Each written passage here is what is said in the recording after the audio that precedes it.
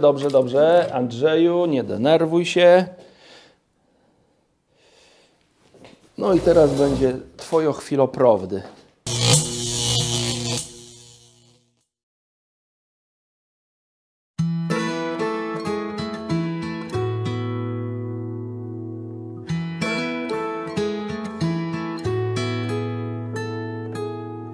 Cześć, nazywam się Adam Niemiec. Bardzo serdecznie witam na kanale Preston Innovations Polska. Chciałbym zaprosić na nową serię na kanale ABC Method Feeder. W poszczególnych odcinkach zaprezentuję, jak zbudować zestaw do metody, jak przygotować przypon zakończony różnym włosem oraz jak dobrać wędkę i kołowrotek do różnych odmian metod feedera. Zapraszam. Wędziska do metod feeder.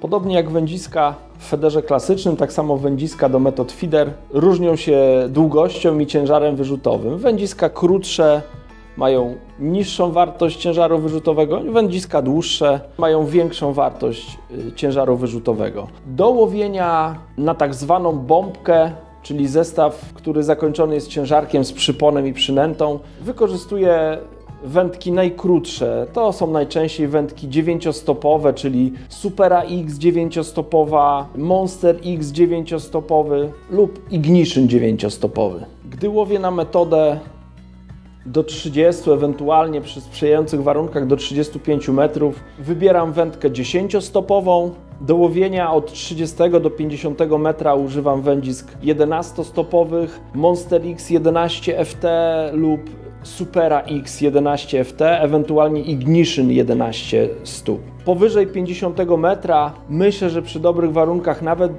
do 70 metra dobre są kije o długości 3,60 to jest Supera X 12-stopowa lub Monster X też 12-stopowy. Jeżeli chcę łowić na bardzo dużym dystansie, powyżej 70 metrów, wtedy sięgam po wędziska z serii Distance Master. W związku z tym, że na metod feeder łowi się najczęściej średnie i duże ryby, dlatego wędki powinny mieć odpowiednią moc. Wszystkie wędki, które są dedykowane do łowienia na metodę, czyli mają gdzieś w nazwie carp feeder, to będą wędki odpowiednie do takiego łowienia, mają wystarczającą moc, żeby wyholować nawet karpie powyżej 10 kg, nie mówiąc o mniejszych. Mają też odpowiednią moc, żeby posłać koszyczek na odpowiednią odległość. Im bliżej łowię, tym stosuję krótsze wędki, im dalej, tym dłuższe wędki. Ktoś mógłby się zapytać, a dlaczego nie łowić długą wędką blisko? Oczywiście można łowić długą wędką blisko brzegu, z tym, że później holowanie ryby jest dosyć uciążliwe. Dużo łatwiej holuje się y, rybę krótszym wędziskiem, bo możemy ją bardziej komfortowo doholować do podbieraka bliżej brzegu i, i, manewrowanie krótszym podbierakiem jest zawsze wygodniejsze niż dłuższym podbierakiem. No, jeżeli się łowi wędką ponad 4 metry, to podbieranie ryby musi się odbywać odpowiednio dalej od brzegu. Poza tym manewrowanie wędziskiem 4-metrowym lub wędziskiem 3,60 no, bardziej obciąża nam ręce. Nie, nie robimy tego tak płynnie i tak łatwo jak, jak wędką 9 czy 10 stopową. Przy łowieniu na metodę lub na bombkę wybieram szczytówki o ugięciu od jednej uncji w górę. Rzadko kiedy stosuję szczytówki 0,75, no chyba, że się trafi jakaś wyjątkowa okazja, że nie wiem, jest bardzo zimno, ryby typu na przykład karasie albo leszcze, które występują na łowiskach komercyjnych biorą bardzo delikatnie, a zależy nam, żeby cokolwiek złowić, no wtedy można sięgnąć po jakąś delikatniejszą szczytówkę niż jedna uncja, natomiast najczęściej jedna uncja to jest absolutne minimum. Półtorej uncji, nawet dwie uncje, ponieważ brania karpi są wyraźne, karpie bardzo mocno uginają szczytówkę, wręcz nieraz trzeba dbać o to, żeby ryba nie zabrała nam wędki, więc nie jesteśmy w stanie przeoczyć tego brania. Dlatego nie koncentruję się na tym, żeby szczytówka była jakaś bardzo delikatna. Wolę zastosować szczytówkę o większym ugięciu, żeby mieć pewność do całego zestawu, że jest on wystarczająco mocny do wyholowania nawet największej ryby. Prawie wszystkie wędziska poza Distance Master wykorzystują szczytówki o średnicy 2,5 mm, czyli grubsza część tej szczytówki ma średnicę 2,5 mm.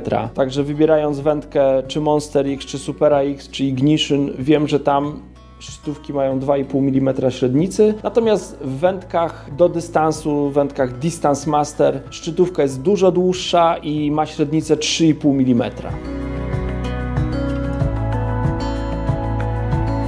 Wspominałem, że długim wędziskiem można łowić blisko brzegu, ale jest to bardzo niewygodne, ale Myślę, że powinienem dopowiedzieć jeszcze jedną rzecz, że o ile można długim wędziskiem łowić blisko brzegu, no to jest technicznie możliwe, niewygodne, ale możliwe. O tyle krótkim wędziskiem nie można łowić bardzo daleko od brzegu. Krótkie wędki no, są za krótkie, ta dźwignia jest zbyt mała, żeby posłać podajnik na bardzo dużą odległość.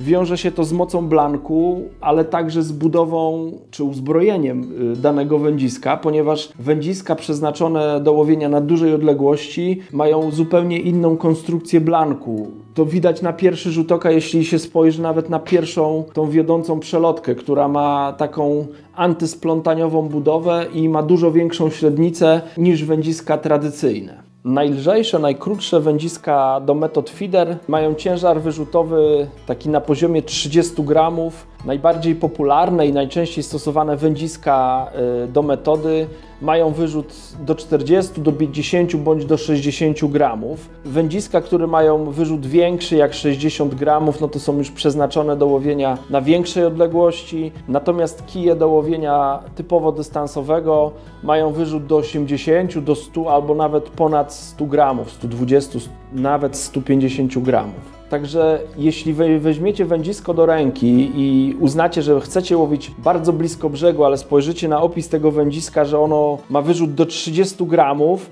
i weźmiecie je do ręki, pomyślicie, jejku, to chyba za delikatna wędka jest. Nie bójcie się, wszystkie wędki, o których wspomniałem, czyli Supera X, Monster X czy Ignition o długości 9 stóp, czyli 2,70, to są kije, którymi naprawdę można walczyć z największymi karpiami w łowiskach specjalnych. Więc nie bójcie się takich lekkich wędzisk, sprawdźcie je, a zapewniam, że będziecie mieć wiele frajdy podczas łowienia tymi wędziskami. Na tym chciałbym zakończyć pierwszą część ABC Method Feeder. Już dziś zapraszam Was na część drugą, w której opowiem o kołowrotkach do metody. Do zobaczenia.